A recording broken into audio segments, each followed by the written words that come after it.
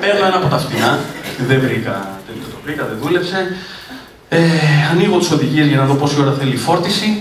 Οι οδηγίες γράφουν μεταξύ άλλων προσοχή, μη γλύφετε το κινητό. δηλαδή, αυτή τι, τι, τι περίμενε; Ότι θα πήγε ένα σπίτι, θα βάζε ένα ποτήρι βερμούτ, θα άναβα ένα πουρο, θα φορούσα την μεταξένια μου ρόμπα και θα έλεγα Ω, σε περίμενα. Λεκινίτ. Πάω να αλλάξω μελάνι στον εκτυπωτή, γράφει προσοχή, μη φάτε το τόνερ. Το γκουγκλάρω και δεν λέω κάτι καινούριο. Όλοι ξέρετε ότι αυτά τα πράγματα παίζουν. Το αγαπημένο μου δύο είναι. Ένα είναι ε, στις οδηγίες για ένα τρακτέρ μιας Ολλανδικής εταιρείας έγραφε προσοχή, αποφύγετε το θάνατο.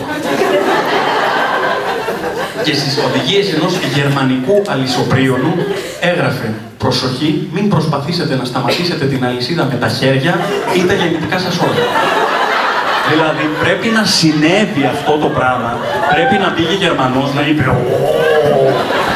Αλισοπριένεν, κόψεν τετράκεν, ωραίν πάρεν σπίτεν, πως κλείνεν, μάλλον έτσι. Πόνεν, πόνεν, τι θα κάνεν, τελειώνεν και η βενζίνεν.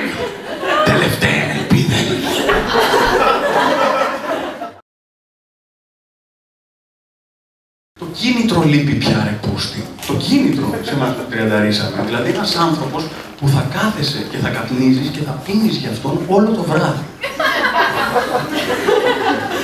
Βλαμμένοι είστε. Αυτό είναι το σοβαρό κομμάτι.